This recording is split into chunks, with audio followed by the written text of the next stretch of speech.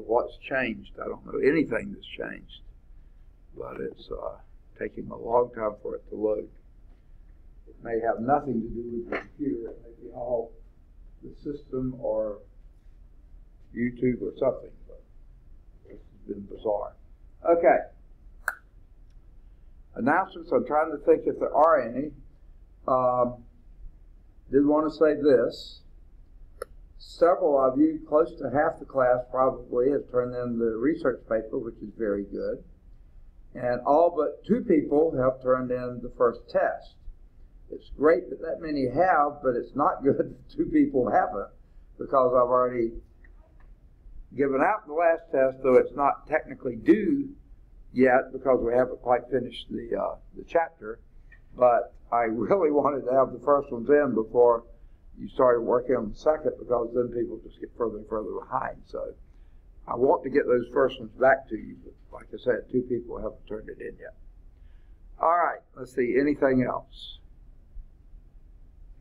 I don't have, yes. I can't hear you.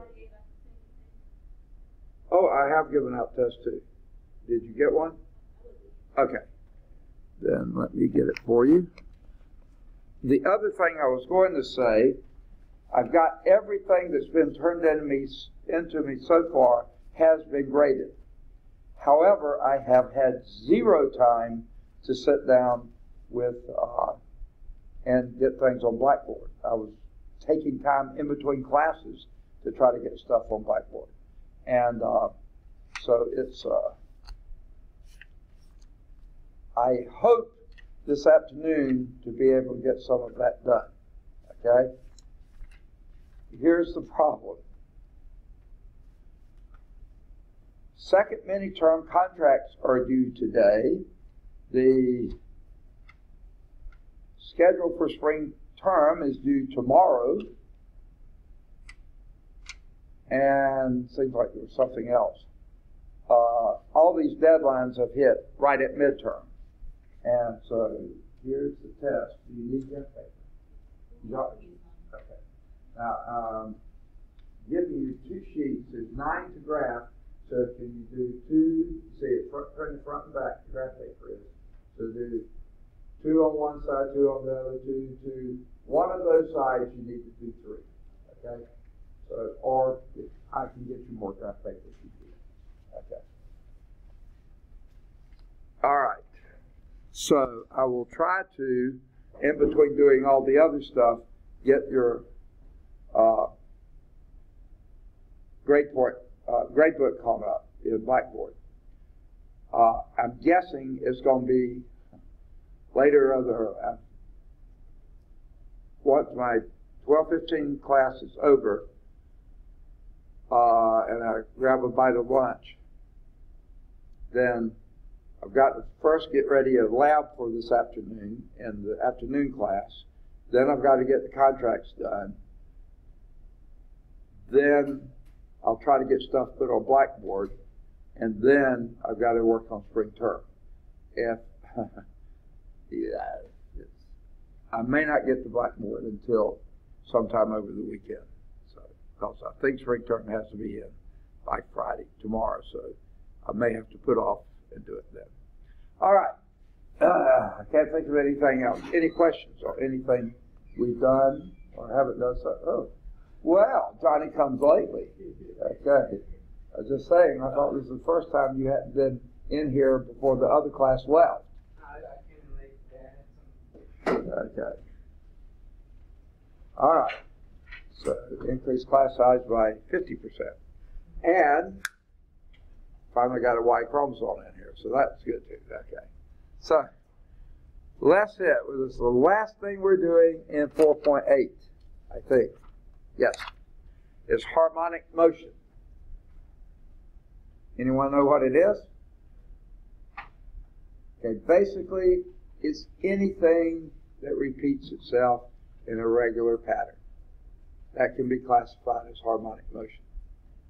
Diurnal cycles daylight darkness hours, bigger seasons, bigger uh, trends, you know, as in weather trends, uh, climate trends, you know. Um,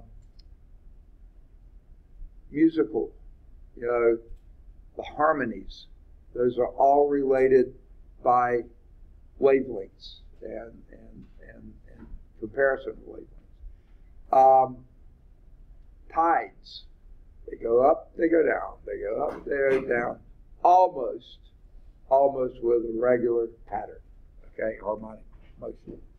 So that's what we're talking about. One of the classic examples of the, well, let's see, the periodic nature of trigonometric functions is useful for describing the motion of, of, of a point or, or of of a point on an object that vibrates, oscillates, rotates, or moves in any kind of wave motion.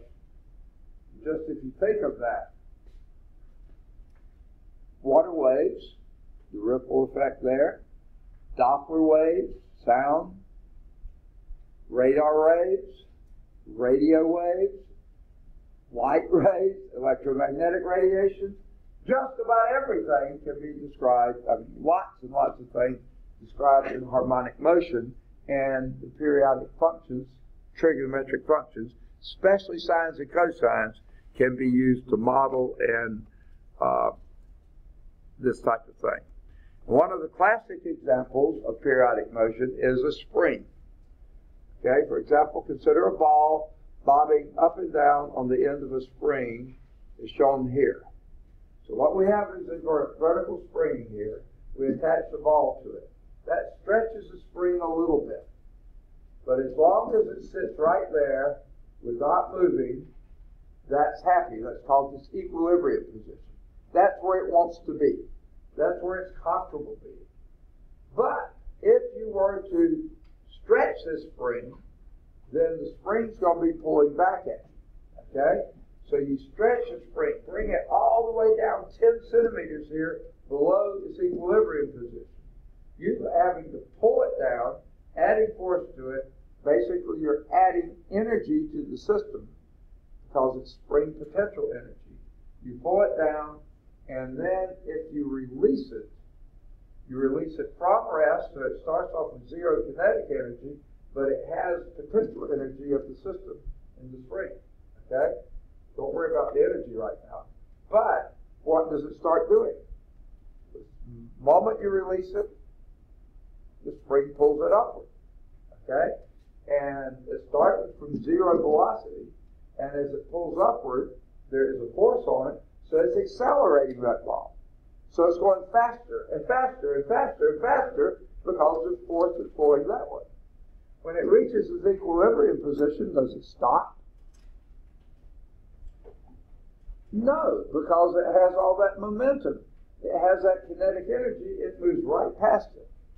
But as soon as it moves past that, then it starts compressing the spring. Now the spring starts pushing back on it. So now the velocity starts decreasing.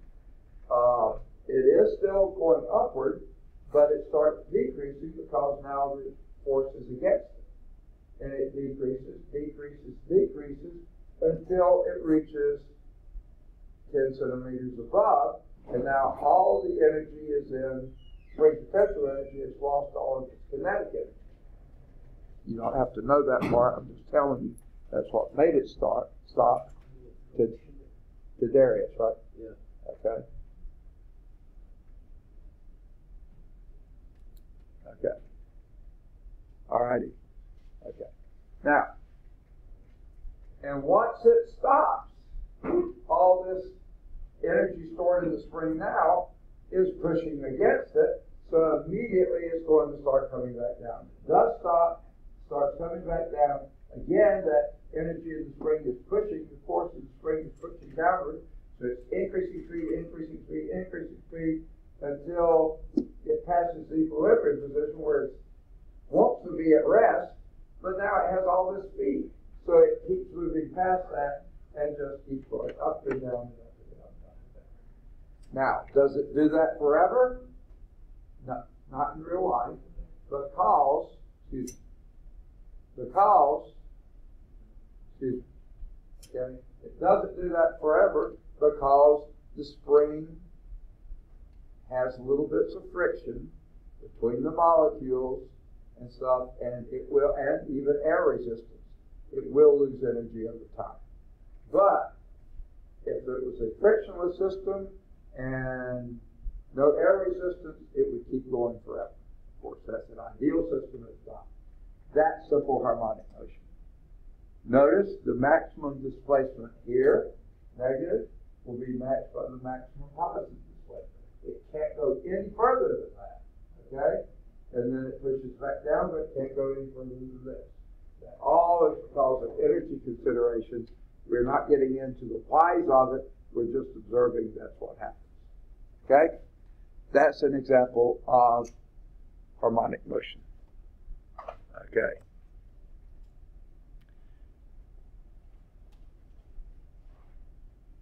So here's describing what I was just saying. Suppose that the centimeter, 10 centimeters is the maximum distance the ball moves vertically, either upward or downward from its equilibrium or rest position.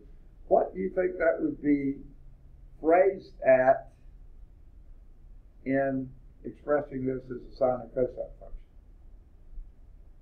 That 10 centimeters, maximum displacement up or down. Remember how we did our sine and cosine functions? We had those parameters, A, B, C, D.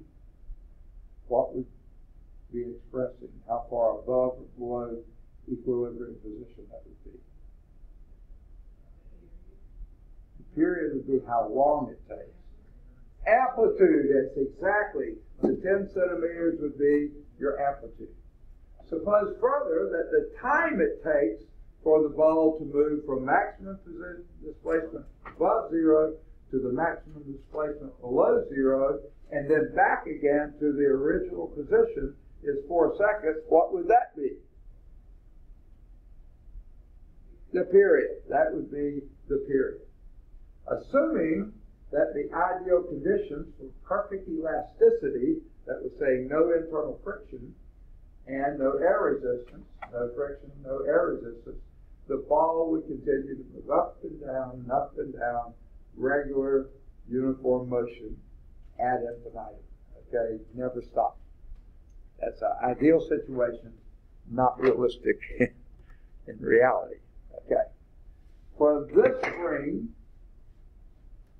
you can conclude that the period or the time for one complete cycle is four seconds.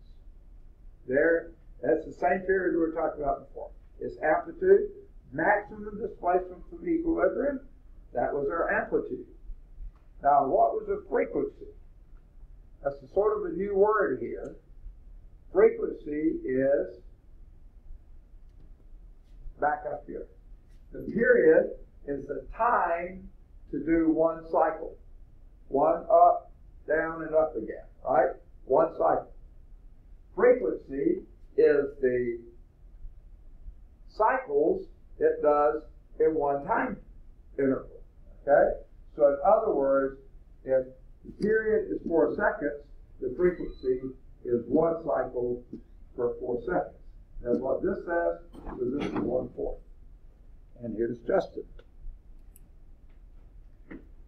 All right. Hmm. Motion of this nature can be described by sine or cosine terms period, amplitude, frequency. We haven't introduced before, but it's just a reciprocal of the period. Okay? That's called simple harmonic motion. So here's the definition for that simple harmonic be sneezing death. Know why. A point that moves on a coordinate line is a simple harmonic motion when the distance d from the origin at any time t is given either by d is equal to, now this d is not the same d that we used as a parameter before, okay? Forget that. This a is the same, but that d is different. The distance at any time t is a sine omega t, or d is equal to a cosine omega t. Now, what we used before was a b here, right? bt. and we said the b was 2 pi over the period. So this omega is 2 pi over period, and that's exactly what we get here. Uh, if omega is 2 pi over the period, the period is 2 pi over omega. Multiply both sides of that. The frequency is omega over 2 pi. The reciprocal of your, goodness, my nose is reciprocal of the period. Okay? Now, what would we classify omega as? Since you get it, divide by 2 pi and you get it, this is the, the frequency per period, you might say. That's the frequency. Then we call this symbol here, omega, either the angular speed or angular frequency. Okay?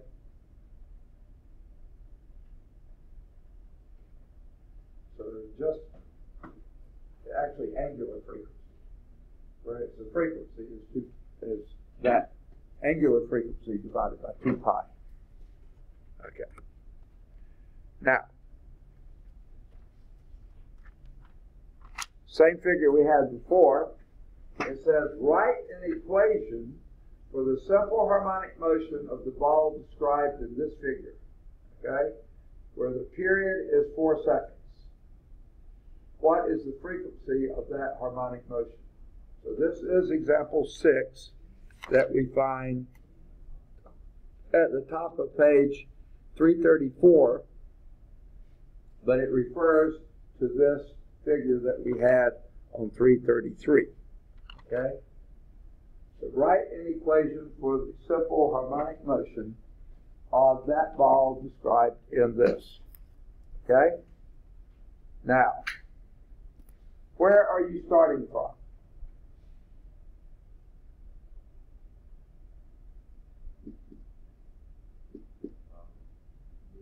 Yeah, your equilibrium position, which would be zero. So what trig function starts at zero? And you're only choosing one of the two, sine or cosine? Sine, okay. If you were starting from up here, I would say use a cosine. If you're starting from down here, I'd say use a negative cosine, okay, because you're starting at the negative. So this, let's do the sine. So the equation will be of the form, I've got to get my pen activated. Okay? Y, they call it D, but why not call it Y? That's what we've always called it. That's your vertical displacement is equal to A sine omega T. Only thing different here, what we were calling B, we're now calling omega. Because omega we call the angular frequency. Okay? Now, what would be your A here? From this figure here. It goes down maximum, minimum of minus 10 centimeters, maximum plus 10 centimeters. Say again? That would be 10. So the A would be 10. So this will be uh, 10, actually 10 centimeters to be correct about it, times the sine of omega t. Now we got to figure out what the omega is. Okay? They told us the period was four seconds. And that omega, remember, is just what your B was before. So how was omega or B related to period? For sine and cosine. 2 pi over period. Or period is 2 pi over b, so you could do it that way too. Um, so 2 pi over 4, okay, which would be pi over 2, okay? So there's your omega. this is equal to 10 centimeters times the sine of pi halves t. Okay? Sine pi halves t. One little problem. This is starting at this equilibrium position, where does it go first? Down. Sine usually goes up. So guess how we deal with that? Yeah, make it a negative.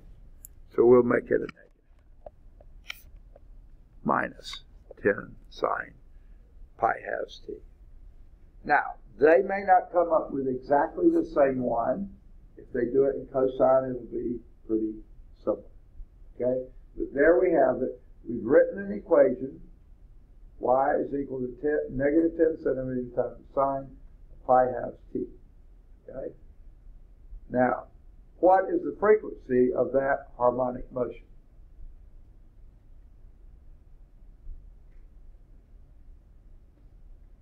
What was frequency? Second? Okay. Frequency is 1 over period. What was the period?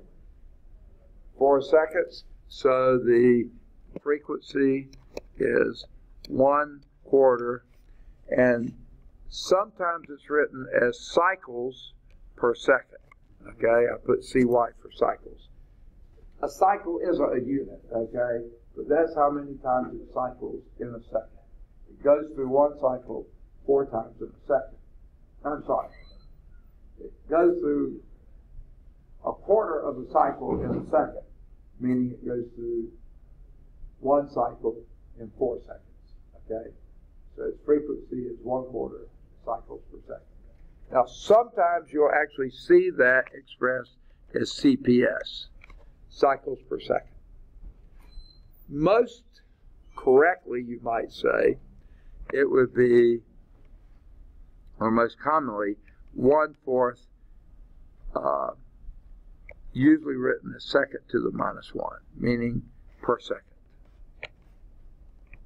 Because cycle really isn't a unit. Can't get my eraser to come up. There we go. Okay. Now, there is a unit for frequency. Does anyone happen to know it? That would be, you should know, yeah.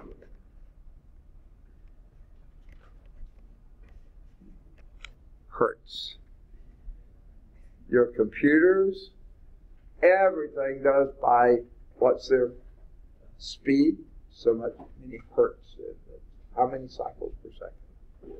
We're up to kilohertz, megahertz. Have we gotten to gigahertz yet? Yeah. Speed of processing information. I know we have memory, but do we have that kind of speed yet? We do? Yeah, okay. I wouldn't be at all surprised. One of these days we're going to be up in the terahertz range, probably. How many processes could we do in a second? Okay. All right. So, let's see how they did. They started the same way we did because the spring is the equilibrium. D is equal to zero. When T is equal to zero, we use the sine equation. A sine omega T. Okay?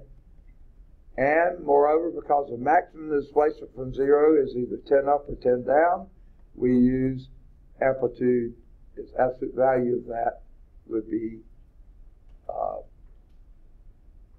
either, A would be either plus or minus 10, because the amplitude is 10.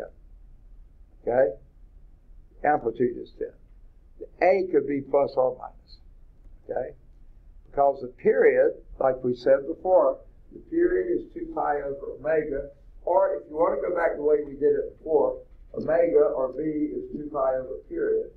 Uh, divide both sides a period, multiply both sides by omega, whatever. Divide by omega, divide multiplied by period.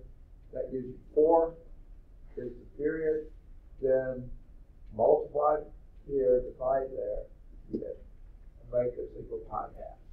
And that would be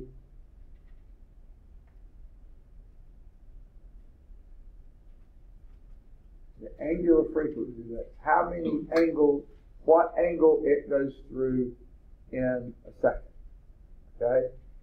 How many angles it goes through, how many radians it goes through in a second. Okay? So consequently, the equation for motion is 10 times the sine of pi half t. Now we had that, but then because it started off going down, I changed it to minus 10.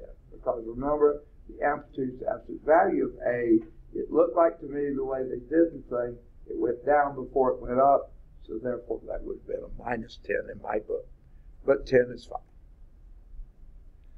Note that the choice of A equal 10 or negative 10 depends on whether initially you move it up or down.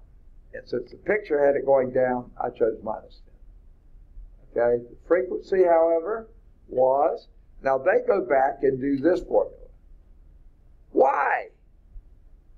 The frequency is 1 over the period. They already gave you the period. It's real easy to do it. But if you do it this way, that would be pi halves divided by 2 pi, which would be pi halves times 1 over 2 pi, which would be uh,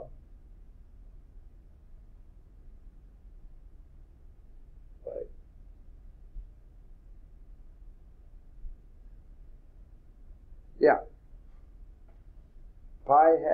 Divided by 2 pi is the same as pi halves times 1 over 2 pi. And so that the pi's cancel out, and then you have 1 over 4.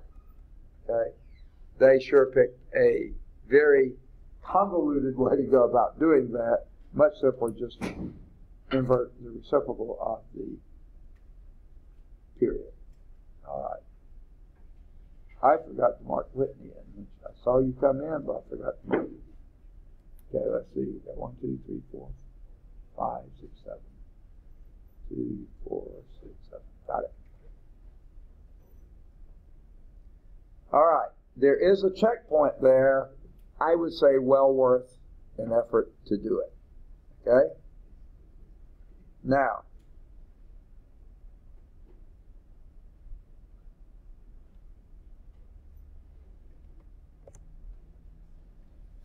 One illustration of this relationship between sine waves and harmonic motion is the wave motion that results when a stone is dropped into the calm pool of water.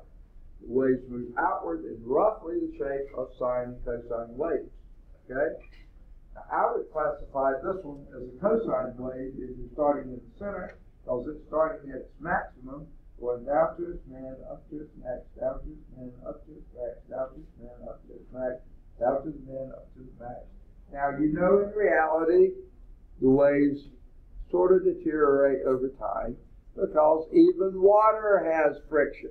Okay? You don't think of it, but it does. Uh, strong hydrogen bonds tend to dampen that a little bit. And remember, did we do our periodic motion? I think we did earlier.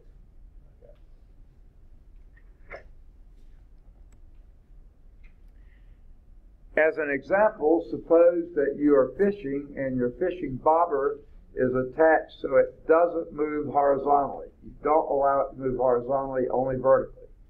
As the wave moves outward from the drop stone, so your bobber is out here perfectly still, but you drop the stone and the wave starts moving out from it. Okay? Bobber doesn't feel a thing until this part of the wave approaches this and then the bobber goes up and then down. So it's doing it right here. It's sitting right there equilibrium until the wave comes, it goes up, and then it starts going down, and it's all the way down to here, and then goes up again, and just goes up and down, up and down. If you don't allow it to go uh. So this is showing the wave progressing, and the bobber doesn't do a thing until that first wave gets there and it reaches it at that point, and then it moves it up a little bit, a little bit more, a little bit more. finally reaches the peak, which gets right here, and then it starts going down again, so it reaches the peak here, the trough here, up and down. I don't find that a particularly awe-inspiring figure, okay? It doesn't say a lot to me. I have to sort of figure out what's happening to get it to make sense. Seems like the illustration should make reality simpler. I have to use reality to make the figure look make sense. I, I don't find it particularly satisfying. Okay. For some reason, they're not doing example 7. So let's us do example 7. I'll need to find some white space to do it. How about right here? Okay, right there. Now, okay, excuse me.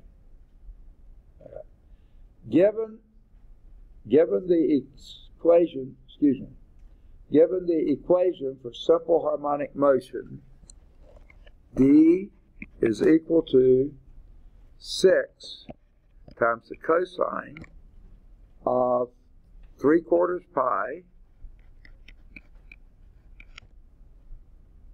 t. Okay. Find A. Okay. The maximum displacement.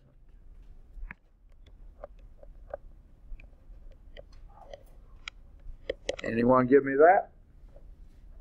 There's your equation. What is the maximum displacement?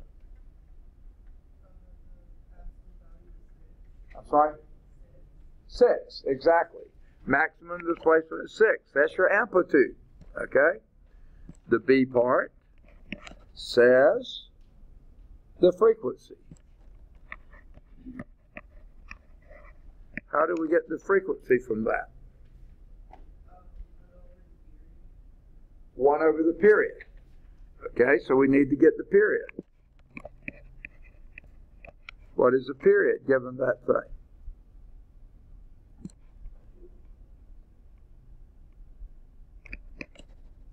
What is the period?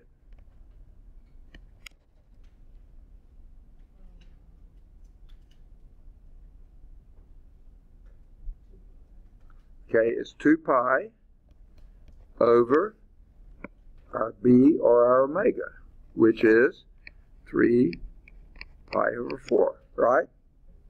Or you could have done it the other way. 3 quarters pi is equal to 2 pi over period. That's how we used to do it. We're just doing it the other way now. So let's do this. This will be 2 pi divided by 3 pi over 4, which is the same as 2 pi, times 4 over 3 pi. Well, the pi's divide away, and that gives you the period is 8 thirds. You can assume it's in seconds, but they haven't given you any units, so just leave it as 8 thirds. Just like the period, I mean, amplitude, we just said 6. We don't know if that's 6 meters, 6 inches, 6 millimeters, 6 watt. We don't know. Okay? But that gives you the period. What did you say the frequency was? 1 over the period, which would then be, which is 3 over 8. Now that usually we can safely say is hertz. We don't know that for certain, but that's not a bad thing to do, or just 3 eighths. They're not using any units, we don't have to. Okay? So there is the B part, the frequency. The C part, the value of d when t is equal to 4. So we're looking for d when d is 6 times the cosine of 3 quarters pi times 4. Because when t is equal to 4, they don't say seconds. I would assume that, but we don't we can't guarantee it, so let's not. So what would d be?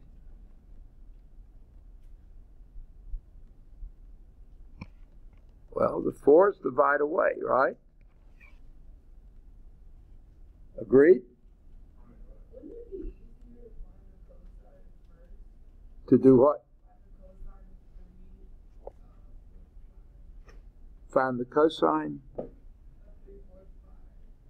Okay, no, but it's three fourths. It's three fourths t. The t is part of what you take the cosine of. So you need to multiply that first. So now we've got the cosine of 3 pi. Anyone tell me what that is?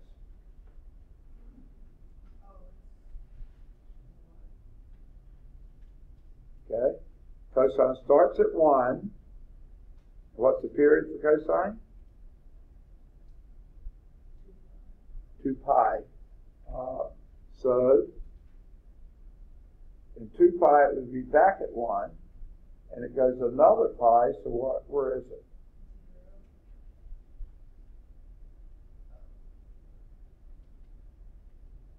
Okay. Started at 1, at pi halves at 0, at pi it's negative 1, at 3 halves pi it's back to 0, 2 pi it's completing one cycle, it's back at 1, then 0, 5 halves pi, okay, so it's negative 1. So, cosine of 3 pi is negative 1, 6 times negative 1 is negative 6, whatever those units are. Okay? And D. Not D the problem, but part D. The least positive value of t for which d is equal to 0. So d to be 0 is equal to 6 cosine 3 quarters pi. I can't write t. And you want the smallest t to make that happen. I think they said the smallest positive t to make it happen. Uh, is a 4 down there. It's a really ugly 4. So let's see if I can make it any better.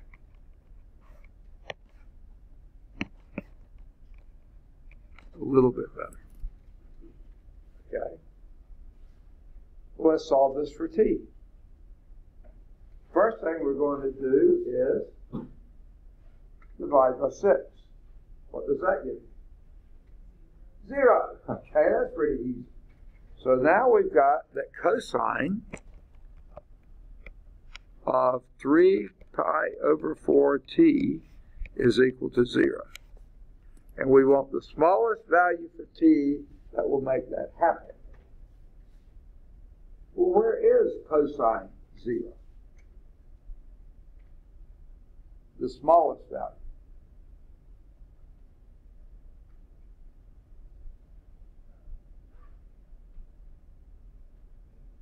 Pi halves. So we want our 3 quarters, 3 pi fourths t to equal pi halves. Okay? So what can we do?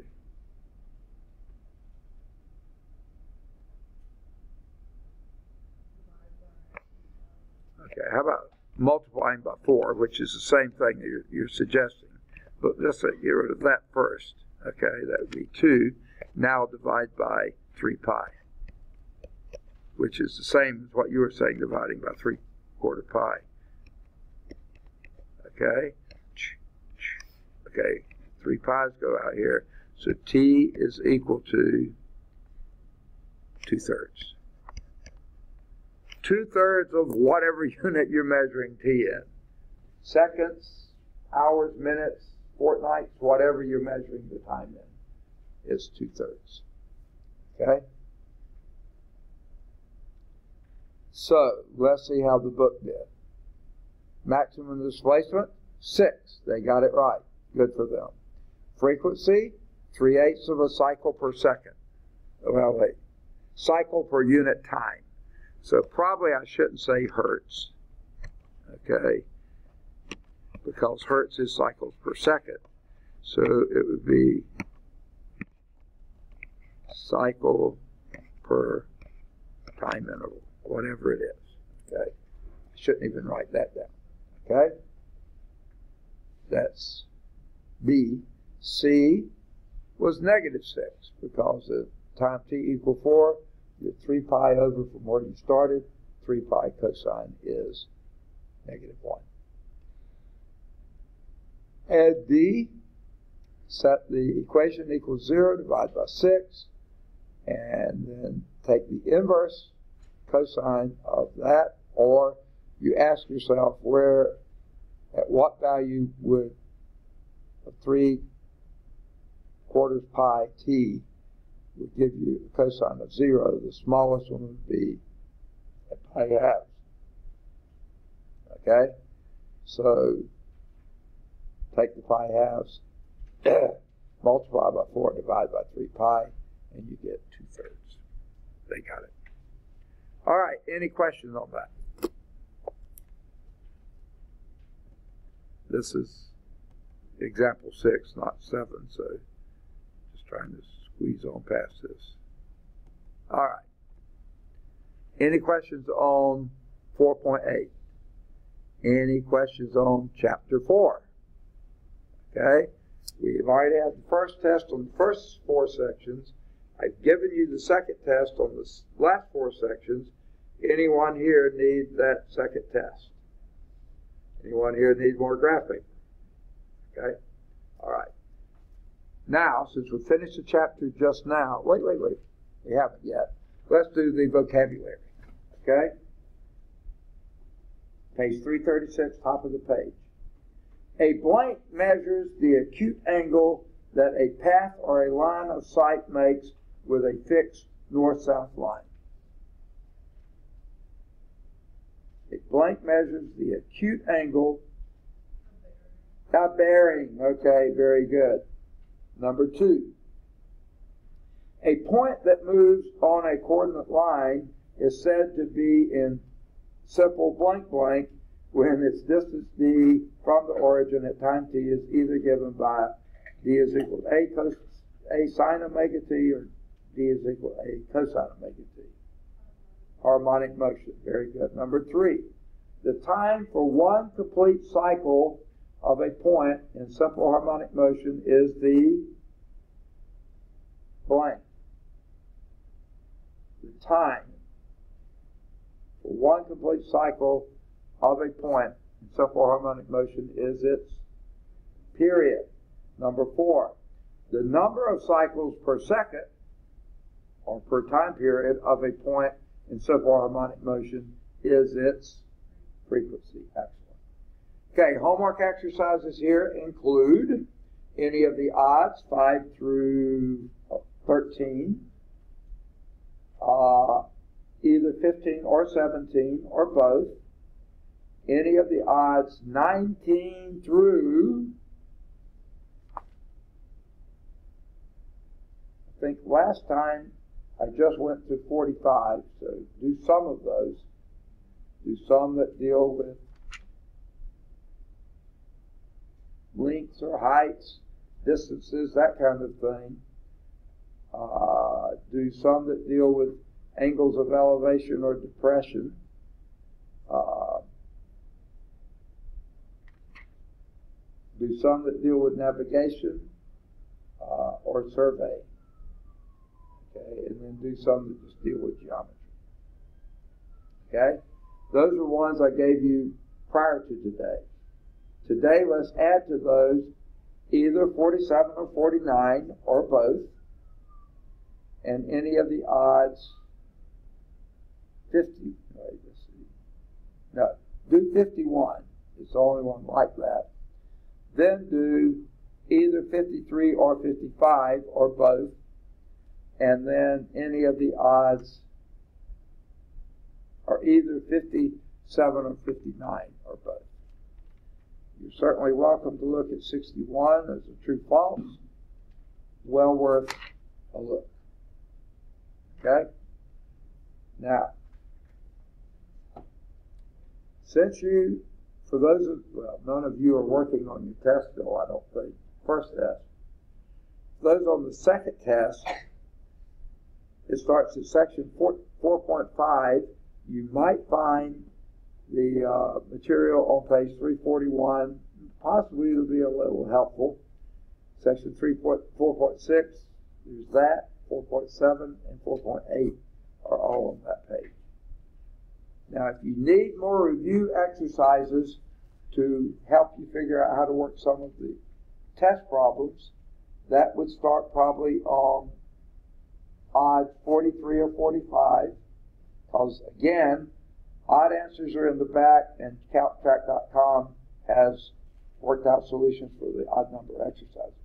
So either 43 or 45 or both, either 47 or 49 or both, either 51 or 53 or both, 55 or 57 or both, 59 or 61 or both, 4.5, any of the odds 63 to 67, and then probably do 69. 4.6, either 40, uh, either 71 or 73 or both. Do 75. Sorry. I can't breathe. Do either 77 or 79 or both, either 81 or 83 or both. Do 85 and then either 87 or 89 or both, and do 91. And then at 4.8, you just have 93 and or 95. There are some exploration, a couple of true false, one true false, and some conjectures and things like that. Now, if you also need a little bit more, the chapter test on page 345, the second half of the chapter is pretty much covered in 12 through 20. Okay? Uh, these, I think the chapter test, all the answers are in the back. However, CalcChat still only has the odd numbers. So you're just using the back of the book, any of the odds, uh, any of the uh, 12 to 20 will be in the back, the answers, but only the odds, 13 to 19, will be in the back. Okay. And there's a little blurb on of mathematics, on the Pythagorean theorem, uh, which would be pretty interesting, I would think. And then a few other things. I'll let you worry about this. Okay. Man, I feel like I've run through the wringer here. I can't breathe, so I'm uh, well, okay, finally it's just, okay. So let's move on to chapter 5. Okay, everybody does have a copy of the second test. Please, if you have it, act.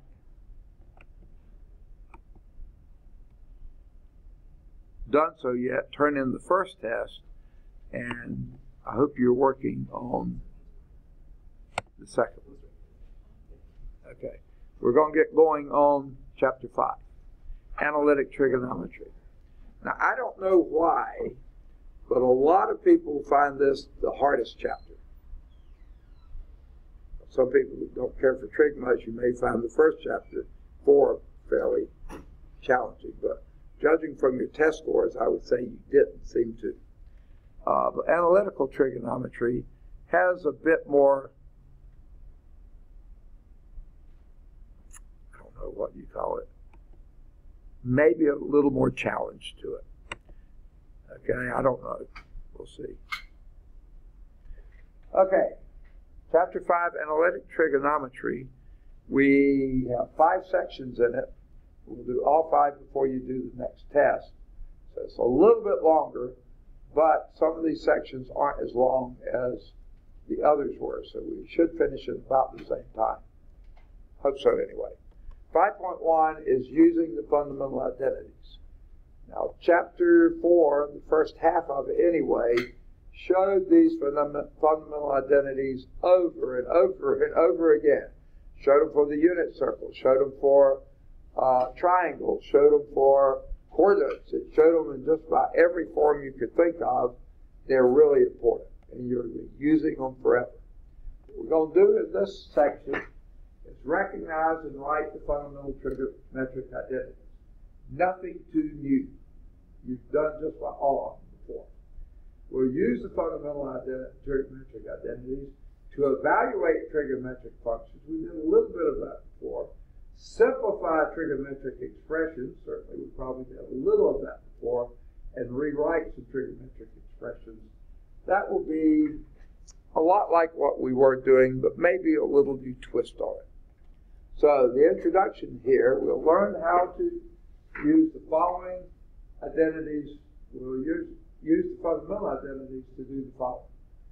Like I just said, evaluate trigonometric functions, simplify trigonometric expressions, develop additional trigonometric identities, and solve some trigonometric equations. So, big challenge. Guess what? Have we seen these before? I think these are all pretty much what we've seen before. Toward the bottom, we may not have seen them, but I think we talked about them. If not, we'll talk about them now. First, your reciprocal identities. Get to know these like the back of your hand. I'm not a memorizer. I don't encourage you to memorize. I do encourage you to use them frequently enough you know what they are. Okay? And you should have these pretty much down pat. A sine is reciprocal of the cosecant Similarly, the cosecant is reciprocal of sine. Okay? Cosine is reciprocal of secant. Secant is reciprocal of cosine.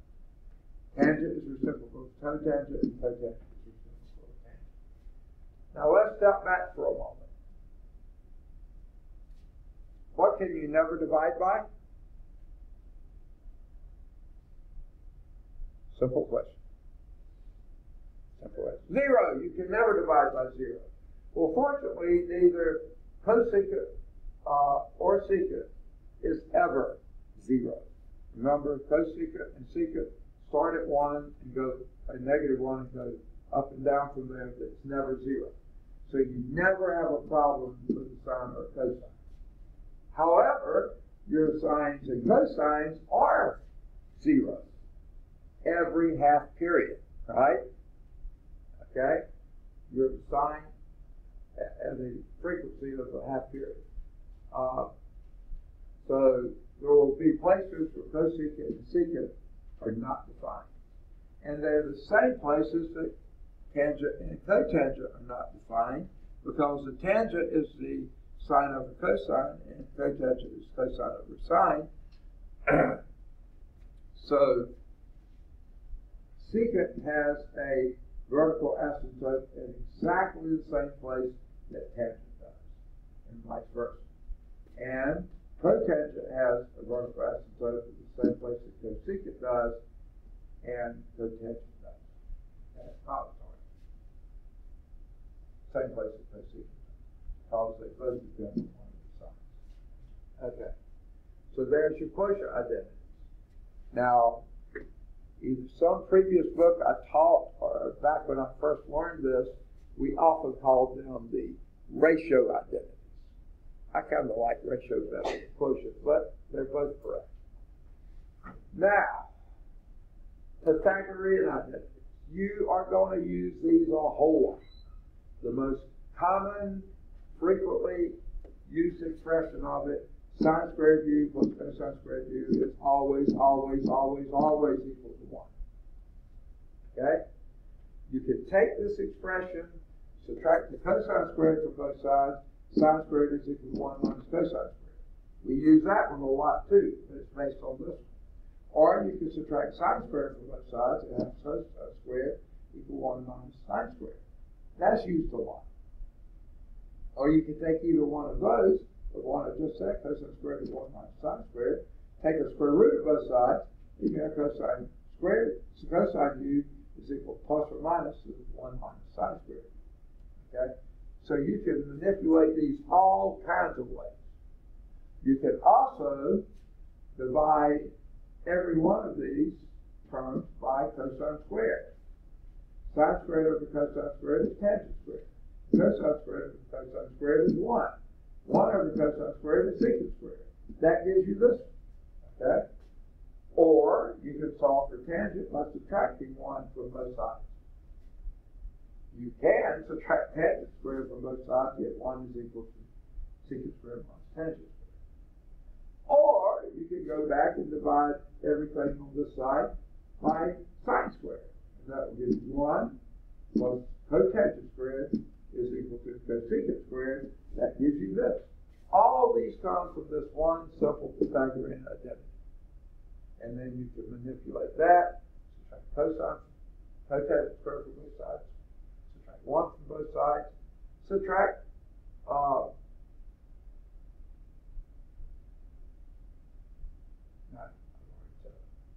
All right, now I think we hit these earlier too, but just to remind ourselves, they're called the cofunction identities.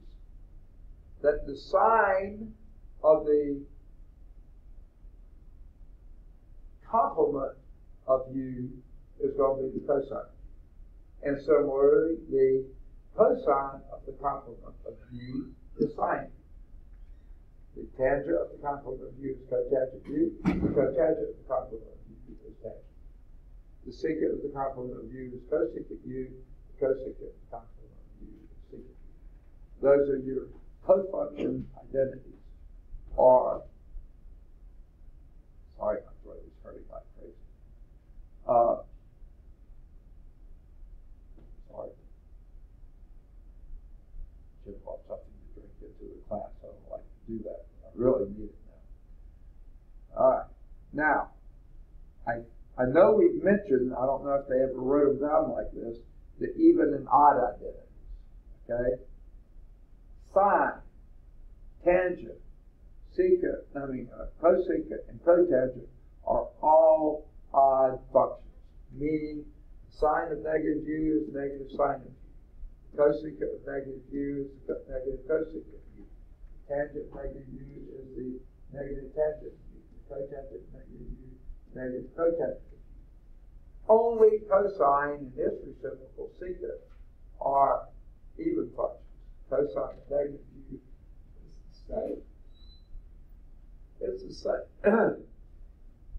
Sorry. It's the same as the cosine of u. Secant of negative u is the same as secant of u. And here's Chelsea.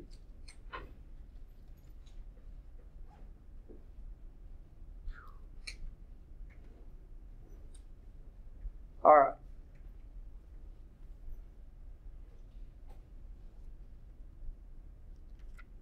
Okay. Now,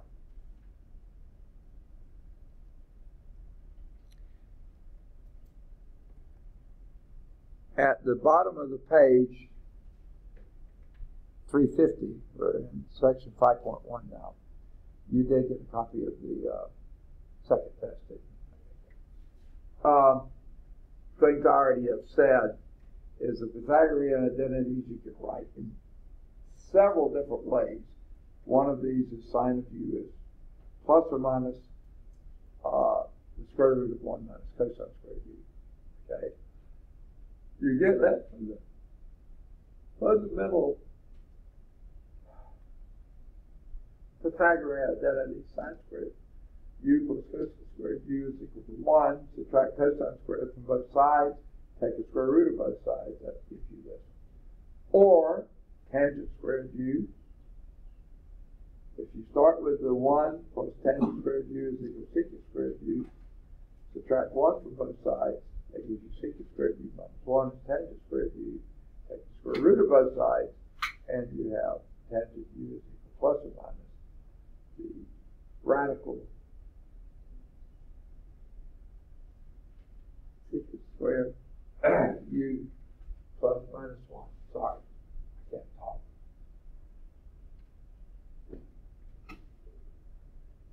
All right. Now, in both of those, when you have a plus or minus, that doesn't mean either answer is correct. It depends on where are you, Waldo? Okay? If you are in the first or the second quadrant with u, then you use the positive because sine is positive in the first and second quadrant. If you're in the third or fourth quadrant with u, then you use the minus because sine is negative in the second, in the third and fourth quadrant. Similarly, kind of, with tangent, if you're in the first or third quadrant, use the positive sign. If you're in the second or fourth quadrant, use the negative sign. Okay? So the sign isn't arbitrary. You have one or two possibilities, figure out where you are, and then what sign aligns with that. All right. So what we're going to do next is use these fundamental identities. What common application? I, I see most of you are fairly well bundled up. Justin doesn't have on any arms, but I'm up here getting cold. I think that's what's messing with my head and everything else. And the only thing is, this morning, first class a full classroom almost. I think body helped. He helped it. But now it's a smaller class. It's really getting chilly in here. No, I thought it was pretty cold begin with. One common application of trigonometric identities is to use given values of trigonometric functions to evaluate other trigonometric functions. And didn't we do this a lot on the first test, the first half of chapter 4? And we'll continue to do it. So don't think just because we've done the, been there, done that, you can get a t-shirt and go home. Don't. You're going to use these things over and over and over again. Okay? So let's do example one. Use the values, okay? This is what they give you. Secant u is equal to negative 3 halves. Now, before I read any further, I want to stop and ask myself, does that make sense? Can secant u ever be negative 3 halves? Is that an allowed value for secant u to have? No, secants can be, I said this, for secants or cosecants, they start if, if it's 1 and it goes up, or negative 1 and goes down. Remember the graphs? They do that. So yeah, that is a legitimate value. If that had been negative 2 thirds, would that have been legitimate? No because secant you can never be between plus or minus 1. It's always outside, higher than plus 1, higher equal to plus 1, equal to or less than minus 1. So that is legitimate. And tangent u is greater than 0. What does that add to the situation? Well, let's back off a minute. First, we already said secant u can be a negative 3 halves. Now the question is, where is second, could secant u be a negative 3 halves? Where is secant negative? I'll give you a hint. Not in the first quadrant. Why? Everything's positive in the first quadrant. So, where could secant be negative? Second? Second, it certainly could be. second, and third. Secant is reciprocal of cosine, and cosine is, remember, our acrostic, all students take calculus. Okay? All the trig functions are positive here. Only sine in its reciprocal, cosecant, the positive here. Take is tangent. Tangent in its reciprocal, cotangent, the positive there. Calculus, cosine, cosine is reciprocal, secant is positive there. So secant is negative either in the second or third quadrant. Okay?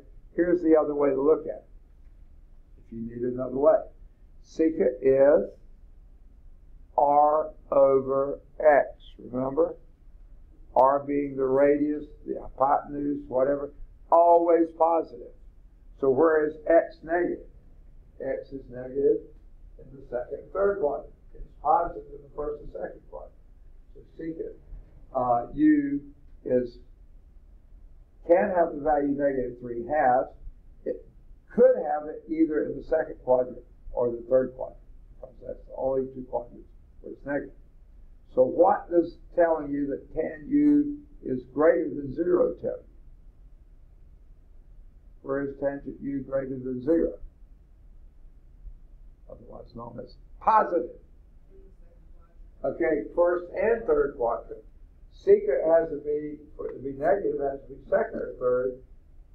Both of those tell you, together tell you, it has to be in the third quadrant. That's what the tangent adds to the picture. Tells you which quadrant it's in. U is in. So use that to find the values of all six trigonometric functions. What do you think the easiest of these six trigonometric functions will be? Cosine. Let me get my pen activated here. See if this will do it. Yes, it did. Okay, so we'll do cosine first. Cosine of u is going to be what then? Which is? Okay, which is? Negative two-thirds, right? And they gave us, so this is actually the easier one, secant of u, because it says all six trigonometric functions. Well, they gave you secant u, and this is minus 3 halves. So cosine u will be the reciprocal of that, minus 2 thirds. All right. From here, we've got four more to do. Sine of u, cosecant u, tangent u, cotangent u.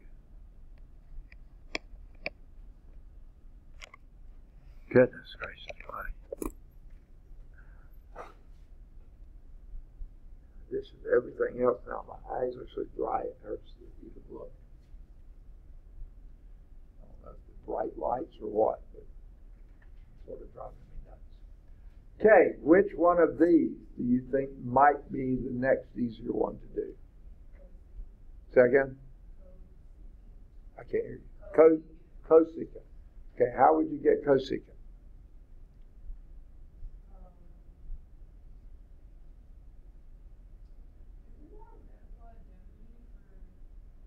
Say that again.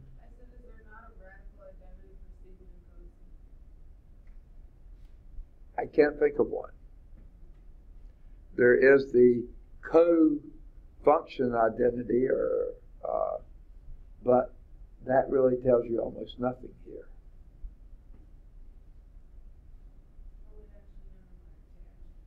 Say that again.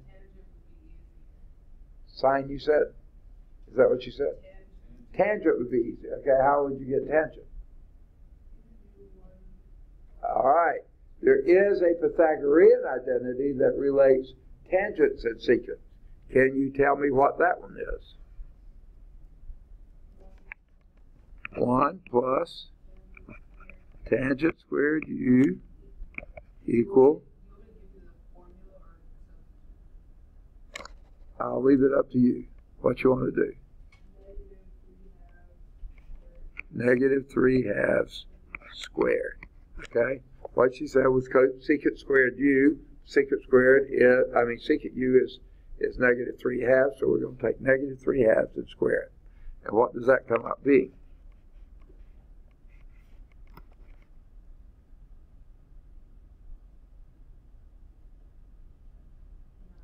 Nine fourths. Okay?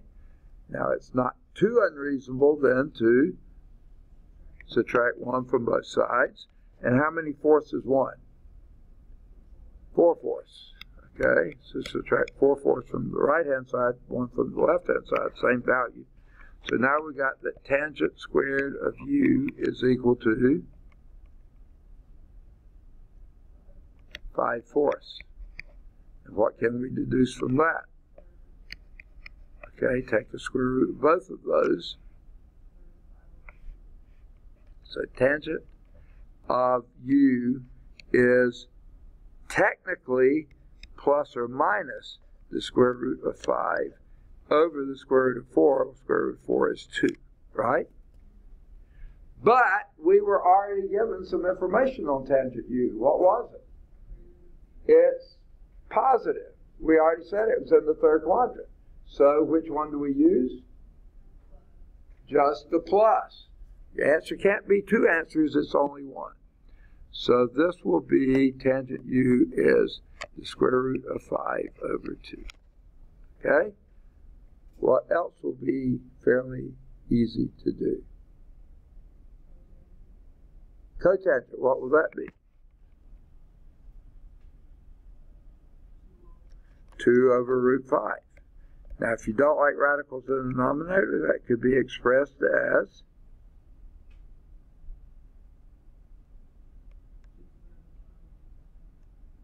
Okay, okay, yeah, 2 square root of 5 over 5. Okay.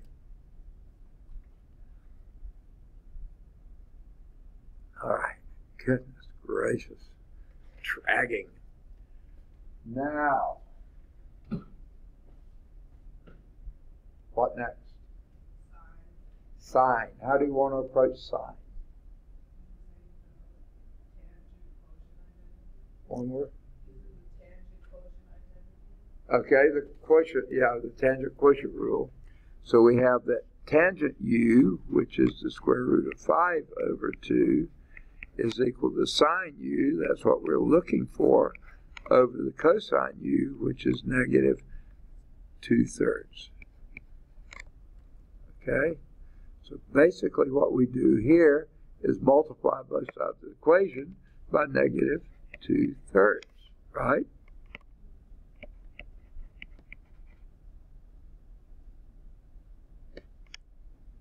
All right. The twos will divide away. Goodness gracious. Over here, the negative two thirds divide away. So that leaves you sine u is equal to negative the square root of 5 over 3. Right? which would then give you cosecant, which would be negative 3 over root 5. Unless you don't like having radicals in the denominator, then it would be negative 3 root 5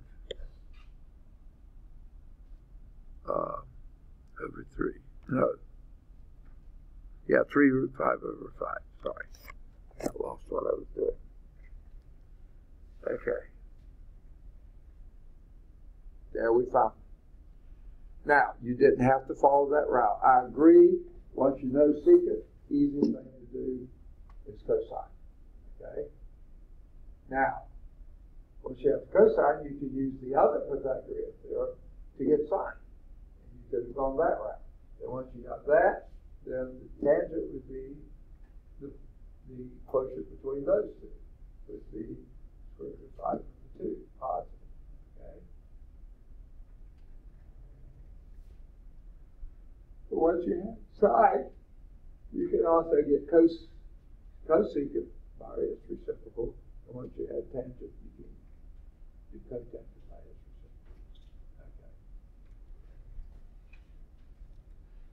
All right check and see how they did on their answers. It looks like they did okay. Sine was, well, wait, here we have them. Let me clear this out of the way. And let's see what they got.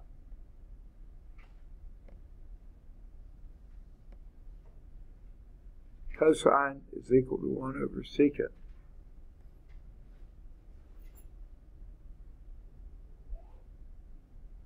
Okay.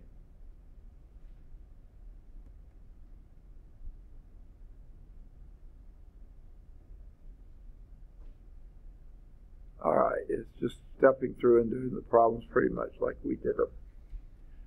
Um, they chose to use the sine cosine Pythagorean identity, which I said you could use perfectly fine, and that came out with sine squared is 5 ninths uh, because secant is negative and tangent positive, you have to be in the third quadrant.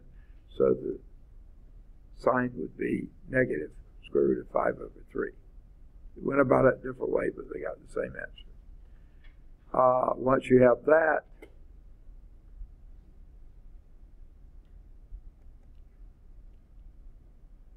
you have cosecant u, which is, boy, do they have something wrong there, don't they? Yeah. When I looked at that, I said, what's wrong with me?